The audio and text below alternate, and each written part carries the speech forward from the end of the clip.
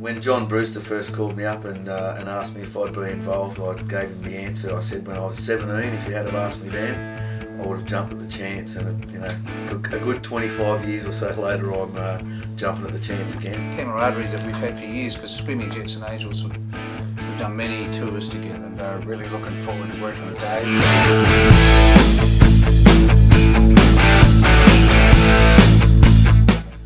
The thing I'm looking forward most to is getting out there with, uh, with guys who I consider to be absolute rock legends and, and punching out some some of my favourite all-time Australian rock songs. Like, there's there's no downside.